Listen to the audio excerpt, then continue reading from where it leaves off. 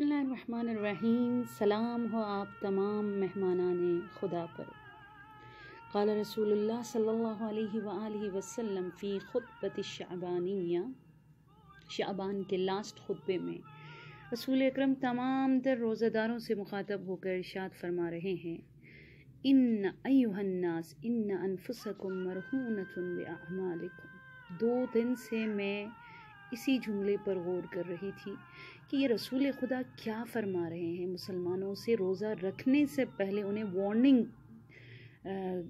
कर रहे हैं कि अयुहन्नास तुम लोग असीर हो, तुम्हारी जान, तुम्हारी रूह असीर है, तुम्हारे अमाल के, तुम्हारे आदात के। कुछ लोग अपनी ज़बान के असीर है, कुछ लोग कीना और बुक्स के असीर है, कुछ लोग असीर हसद है, कुछ लोग सू जन नेगेटिविटीज़ के असीर है। कुछ लोग हसद के असीर है, कुछ लोग दूसरों को तबाह और बर्बाद करने पर तुले हुए हैं और उस बुरी आदत और कैंसर के असीर है। उसके बाद रसूल अकरम सल्लल्लाहु वसल्लम फरमाते हैं अयाम हूँ अफ़ज़लयाम वलयाली है अफ़ज़लयाली वसाआत अफ़ज़लसाआत खुदा, मैंने फ़र्स्ट क्लिप में आप लोगों को बताया जहाँ खुदा वीआईपी दस्तरखान आपके लिए बिछा रहे बरकत का मगफ़रत का, रहमत का, वो महीना जिसमें अयाम हूँ अफसल अयाम जिसके दिन बेहतरीन, परफेक्ट अयाम है। वह लयाली है अफजलयाली साल में तमाम रातों में अफजल रात, बेहतरीन रात है। वो सात वो एक एक पल एक एक सेकंड एक एक मिनट अफजल साद है। अब इस गोल्डन चांस से, ज़्यादा से ज़्यादा प्रॉफिट और अपने आप को लॉस में रहने से बचाना अगर आप चाहोगे, रसूल फरमारे फ़फ़ू हाँ बिस्तफ़ारिकुम तुम इस्तफ़ार करो। सिंपल इंग्लिश में, उर्दू में, गुजराती में बट अरबी में अगर करोगे, ज़्यादा अच्छी बात है। और आज इस छोटे सी क्लिप में मैं आप लोगों को तोहफे में दे रही हूँ दुआए इफ़्तार।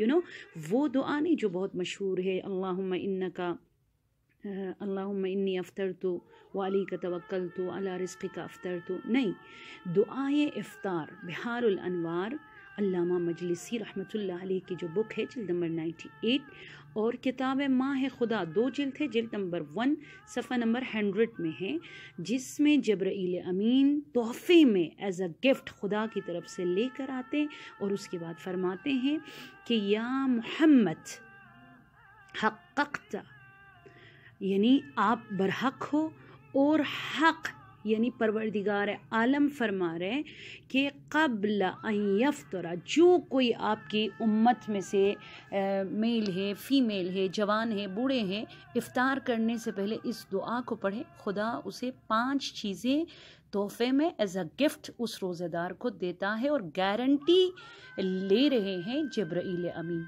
और वो पाँच गिफ्ट्स क्या है? दुआ मुस्तजाब होती है। रोज़ा उसका कबूल होगा। कितनी प्यारी रिवायत है। नमाज़ उसकी कबूल होगी। गुनाह उसका बख्शा जाएगा। और उस रोज़ादार के, उस रोज़ के अमाल को जिस दिन ये दुआ पढ़ेगा, नबीन और सिद्दीकीन के अमाल के साथ अरश खुदा तक ले जाया जाएगा। कौन सी दुआ है? ये ख़जाना, ये गंजा, ये गंज खुदा ये कौन सी दुआ है? अल्लाहुम्मा रब्बन नूर आज़ीम रब्बल कुर्सी रफ़ी बड़ी प्यारी दुआ है। मैं इस क्लिप के बाद ख़ुद पढ़कर आप लोगों को सेंड कर देती हूँ। इन इस दुआ को ज़रूर पढ़िएगा, जिससे दुआएँ कबूल, रोज़ा कबूल, नमाज़ कबूल, गुनाह बख्श दिया जाएगा और आपके अमल को सिद्दीकीन और नबीन के अमाल के साथ अर्श खुदा तक ले जाया जाएगा। बट उसके लिए शर्त क्या है? फ़फ़ूहा बिस्तफ़ारिकुम जहाँ हर तरफ़ जनाजे उठ रहे हैं, जहाँ हर घर से डेड बॉडीज़ उड़ाए जा रहे हैं और लोग पुरसा देने नहीं जा पा रहे।